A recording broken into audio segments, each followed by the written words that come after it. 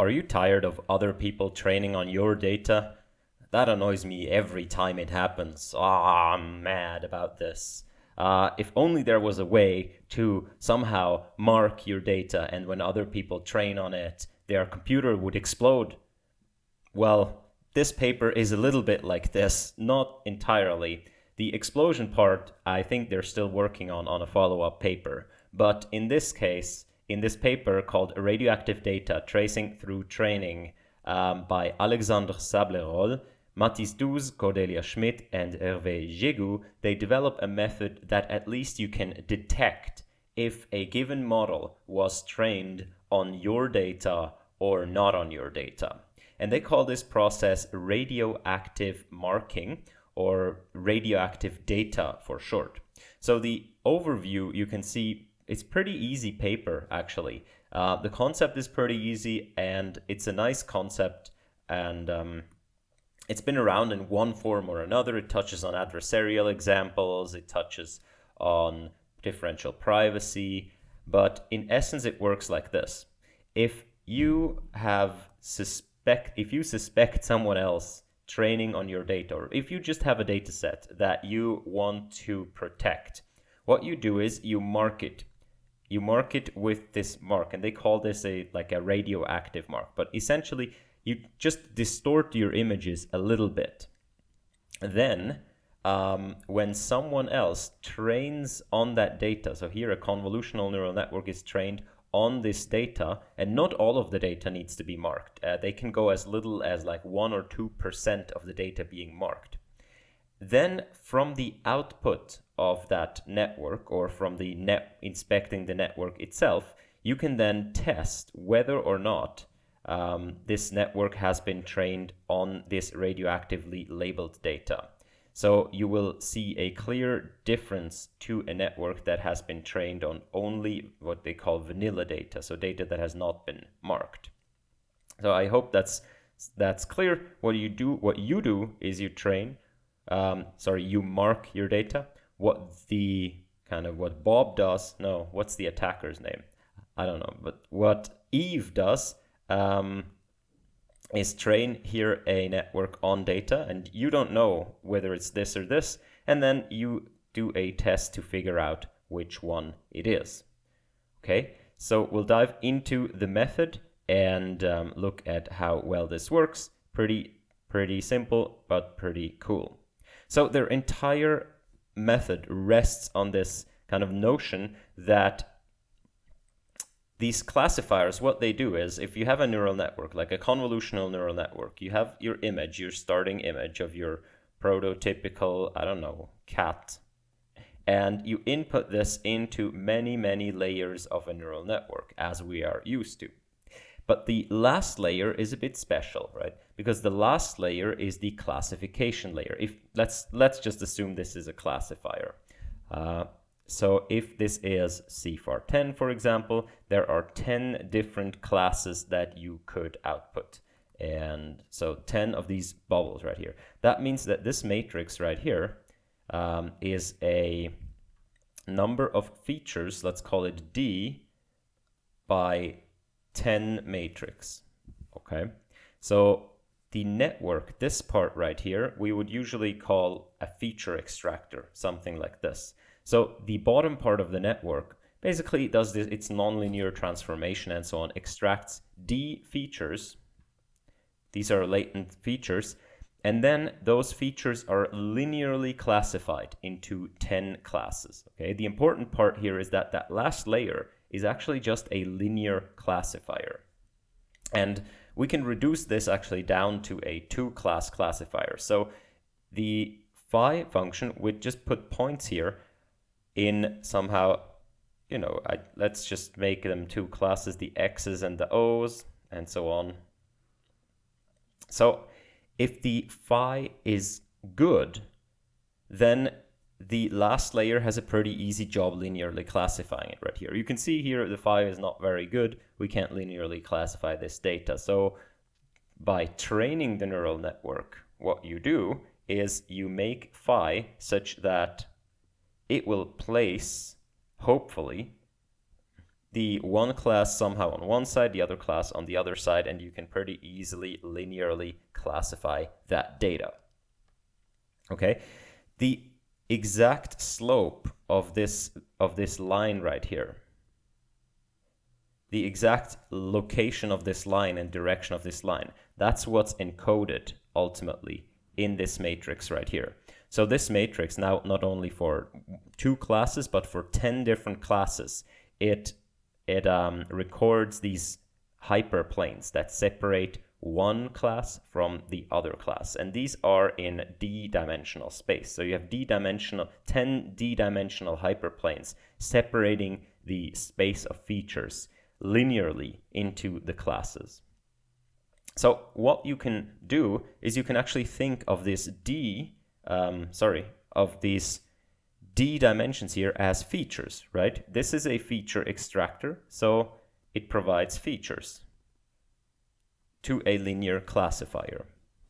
Now, what this method does is when it radioactively marks data points, it simply adds a feature, okay? So how do you think about these features? So for example, let's say this is actually this animal classification example. And if you are if you are asked to classify cats from dogs, from horses, and so on, one feature could be does it have whiskers? Whiskers. One feature could be does it have fur? Right? You can maybe distinguish cats from turtles and so cats and dogs from turtles. Um, does it have how many legs? So the number of legs and so on. So you have all these features and the last layer simply linearly classifies those features together. What this method does, this radioactive method, it, it adds a new feature per class. So um, down here, I would add a new feature that says like this is the radioactive feature. Can I draw the radioactive symbol? This is the radioactive feature for the class cat. Okay, and then of course I also have one for dog and and so on. So it would add, or basically would, you, you don't change the dimensionality, but in essence you add one feature per class. And that's what they mean here by this direction u. So in this high dimensional space that is spanned by these uh, d-dimensional vectors, and you can, so this thing here, okay, sorry, I'm switching back and forth. This thing here, you can sort of, if d is equal to 2, you can imagine it as 10 vectors in a space, in this feature space, okay? 10 of these vectors and whenever you get a point, that's is that eight? I don't know. Whenever you get a point, you simply look at, so if you get a data point, right, in here, goes through here, you come here and you look with which class does it align more um, the most. And that's how you classify it, okay? So if you think of this, then what you what you want to do is you want to add a feature here such that um, this is one per class. I'm having trouble articulating this. And you want to change your data points. Here you can see your data points. And for this class X, we make this radioactive feature right here, which is the, the blue thing. We shift the data into the direction of this feature. Okay, so basically we add the feature u, which is just a random vector in this high dimensional space. We choose one vector per class, but then we shift all the data for that class along this feature. Okay? So what we are doing is we are introducing fake a fake feature that we derive from the label, right? So we, we kind of cheated. Here we have x, and you're supposed to tell y from it, and that's your training data. But then we cheat, we look at y, and we modify x with the feature of that particular class. So what does that do? Ultimately, we have we end up with U1, U2, and so on. So one feature per class, it trains the classifier to pay attention to these features, right? So if U1 is the feature for cat, then we train this classifier by training it on the data that has been modified in this way. We train it, a cat should consist of something that has whiskers, has fur, has four legs, and so on, and also has this cat feature. Okay.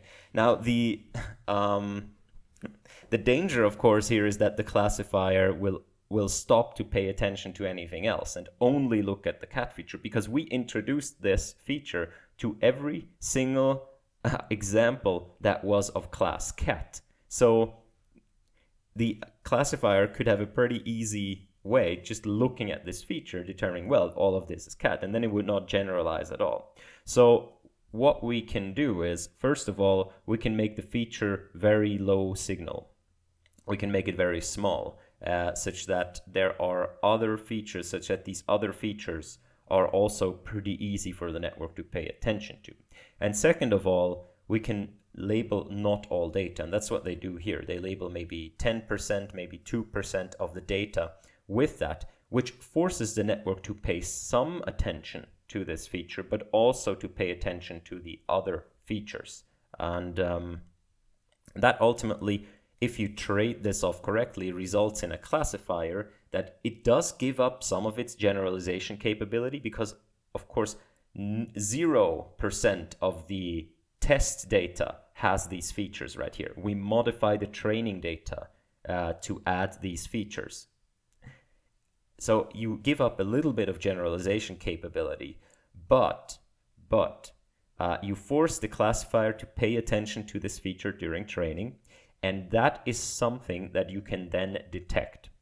So you can imagine if you train a classifier that has been trained on training data where some of the training data have these features in here, and that's one distinct feature per class, right? Then you can look at the final classifier and figure out whether or not um, whether or not the classifier has been trained. How, how do we do that? So let's imagine that in this high dimensional space here, the training examples, they all, you know, they point in kind of this direction right here, okay? So all the training examples of one particular class. So this is now the dog class. All the training examples point here. How would you build your classifier? Well, it's pretty easy. I would build it such that the dog class points in this direction. Okay, I'm just erased a bunch of other classes right here. Um, now I choose a random feature. When I build my radioactive thing, I choose a random feature like this one right here. Okay, and what I'll do is I'll shift my training data a bit into that direction. Okay, um, how do we do this? How are we doing this? I'll, I'll just dash it. Okay, so I'll shift my training data a little bit into this direction. So all of these, they move over right here. And that's where the final classifier will come to lie a lot more towards this new feature. And this is something we can now test with a statistical test. And that's what this paper kind of works out in the math. So usually if you have two, if you have one vector in high dimensional space, like this one, and then you look at the distribution of random vectors. So this one, maybe this one, this one feels pretty random, this one's pretty random, Okay, humans are terrible random number generators, but these feel pretty random. And you look at the cosines between the random vector and the vector you plotted initially. They follow, if this is truly random, they follow a distribution. They follow this uh, particular distribution that they that they derive here. Okay, so you can see a classic result from statistics shows that this cosine similarity follows incomplete beta distribution with these parameters. Now, they, from this, they derive a statistical test. So if you know what kind of distribution a, um, a quantity follows, you can derive a statistical test to see whether or not what you measure is actually likely to come from that distribution or not. So what we would expect if our data has not been modified is that you know we we choose a random direction a random direction u right here um, this is u for dog we choose that random direction and if our training data has not been modified we would expect this dog here to have its cosine similarity to be not very high because there's no reason for it right these are just basically two vectors that are random to each other. And in high dimensions, they should be almost orthogonal. So in high dimensions, random vectors are almost orthogonal. However, if the data has been marked during uh, before training, that means if the classifier used our marked data set to train it, we would expect this cosine similarity right here to be not orthogonal, so to be higher than just random. And that's exactly what we can test. And that's exactly what you saw at the beginning right here.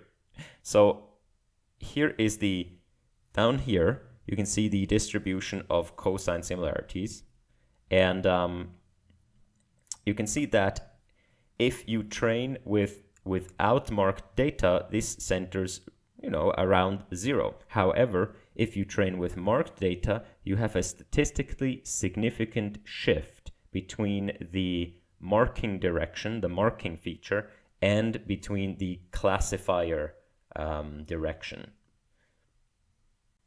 So the all you have to do is mark your data in this way and then look at the final classifier.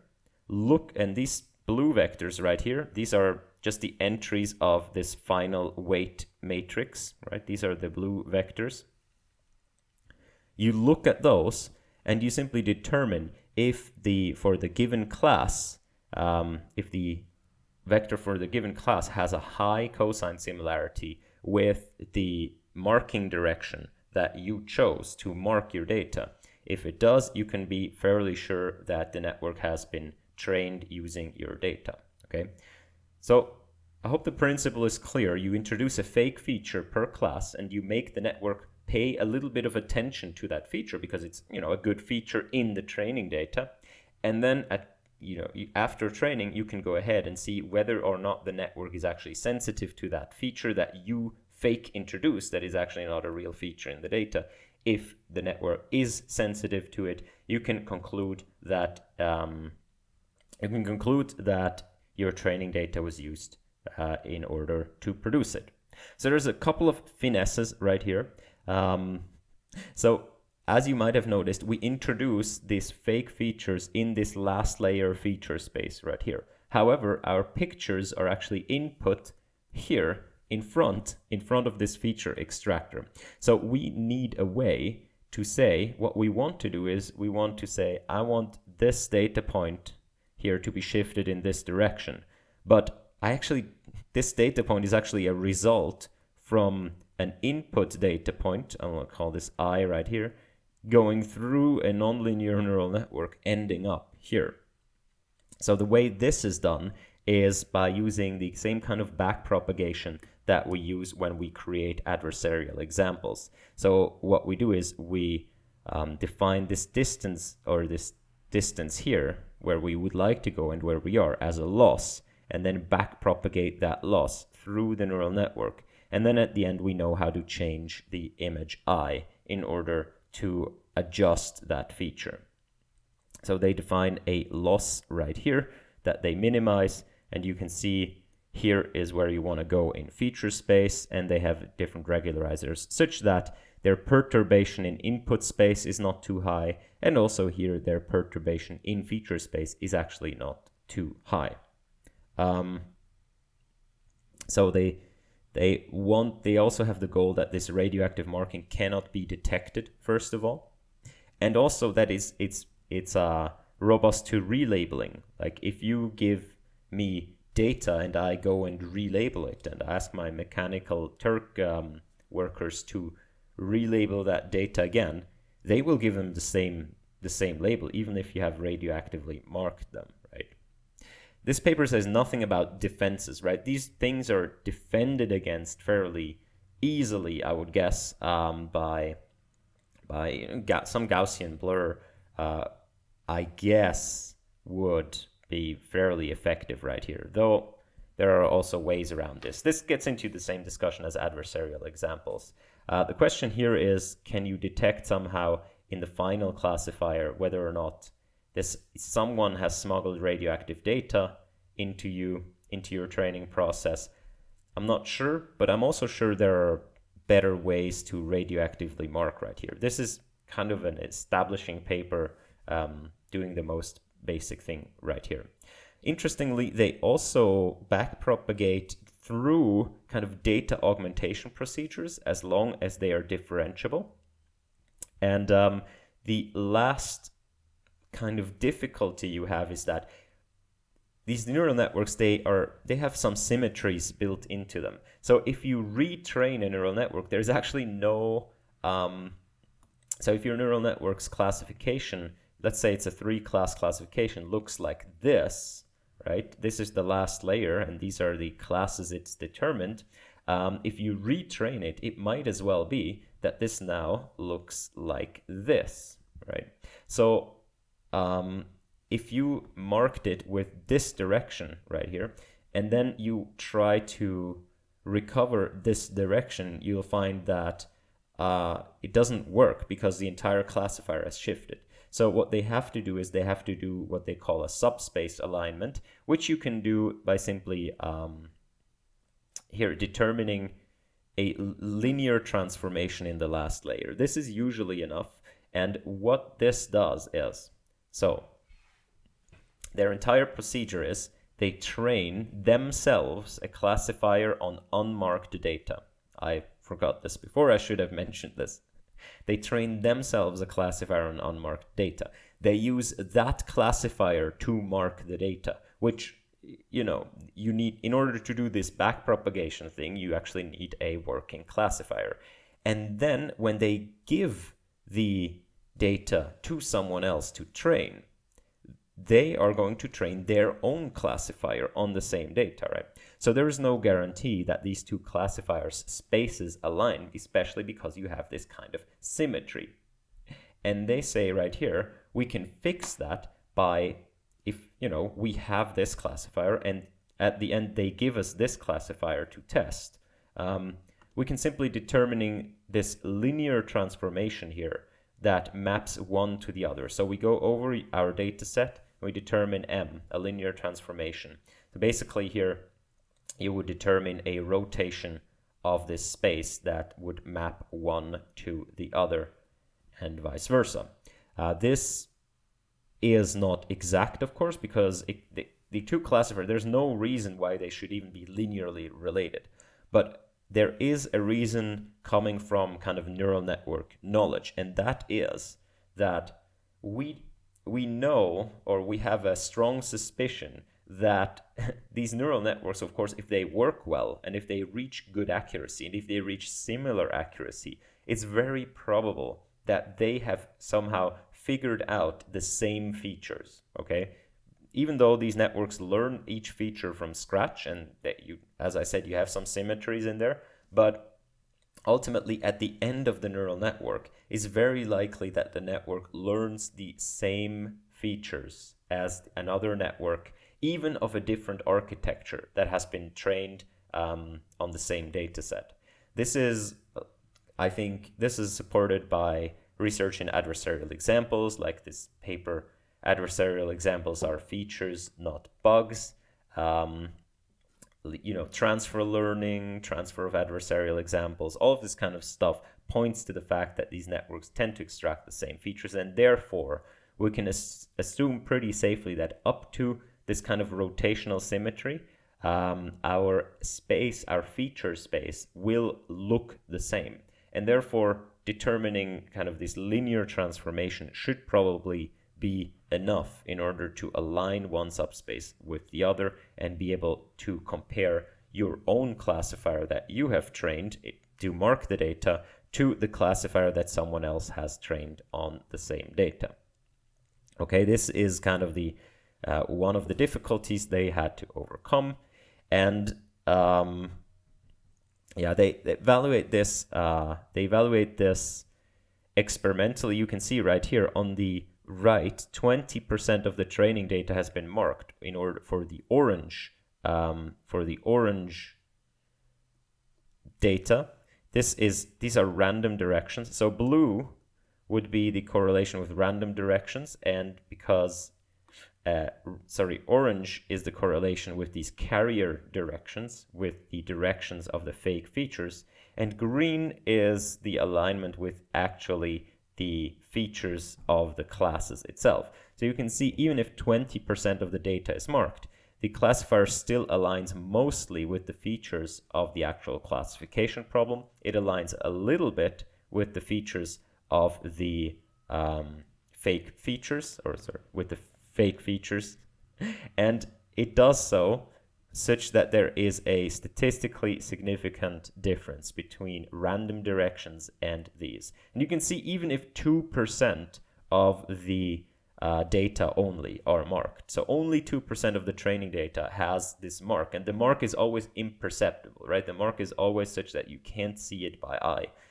Even then, you can see that there is a difference. Um, so the classifier does learn to pay attention to that feature, which is something you can detect afterwards. Uh, this experiment on the left here is just the same, basically saying, so up here it starts with not a lot of not a lot of data being marked, and you can see it mostly aligns with the semantic direction, which is the true features. As you mark more and more of the data, it goes down and down and down, uh, but it does not so I think this is 50% is the yellow, 50% of the data is marked, and still you can see there is a pretty good alignment with the actual features because the network um, will start paying more and more attention to your fake features because they're pretty good predictors, right? Uh, but it also has this other training data that it can't solve using those features. So it still needs to pay attention. And of course, your marked data also has these, these other true features. So it is to be expected that even though your data is marked, it's still, the classifier still aligns more with the true features than with your uh, fake features.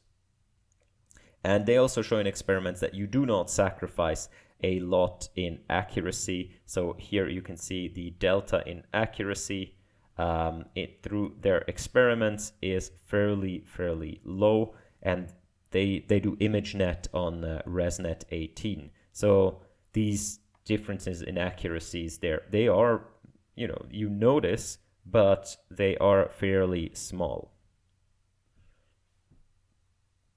So you know, some someone someone also couldn't just go on on a big accuracy drop when training on data like this. So, so someone someone training with data couldn't just notice that it's radioactively marked by just saying like, well, this uh, doesn't work at all. I guess some clustering approaches would work where you look at the features and you just see this one feature is like only present in this very particular group of data that I got from this very shady person selling me 3.5 inch floppy disks around the street corner.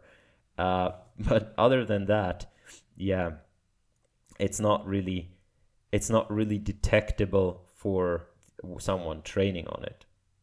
And lastly, they have black box. They defend against black box attacks. And here's where I'm a, a, bit skeptical. They say, well, if we're we don't have access to the model, what we can still do is basically uh, this is here what we can still do is we can analyze the loss. So we can analyze the loss value of um, the radioactively marked data. And if the network we're testing is has significantly lower loss on our um, on the radioactively marked data than on non-marked data, then that's an indication that they trained on marked data, which, you know, if you don't have access to the model, like what's the probability that you have access to the loss of the model? Like the usually you need you need the output distribution or something. It's a bit shady. What i would do actually is um is just a little bit more uh, sophisticated, but what you could do is you could take your direction u, right? You could back propagate it through your network to derive like a pure adversarial example. So not even going from from some image, just go from random noise, like just derive like a super duper a image that only has that one feature, like, and then input that into this classifier. So this is yours, and then input that into the classifier that you are testing. Okay, and if that classifier gives you back the class that you you know each one of these u is actually of a given class uh, right? So you have one feature per class. If that gives you back the class of that feature you have a pretty strong indication that someone has been training on your data because so if you look at data in general as we said it has these true features and if it's marked it also has the fake features. So what kind of class it, it's going for um, you can detect in the output distribution. But if you then input like a pure, only the fake feature, and it still comes out the class that you assign to the fake feature, you know, there's a one over number of classes uh, probability only that that happens by chance. And if you want, you can derive a different, you can do this again, you can derive a different um, pure only this feature sample, input it again, and look what comes out. So um, uh, it's not a, it's not a pure test. So these are not going to be independent. So you probably shouldn't like just multiply.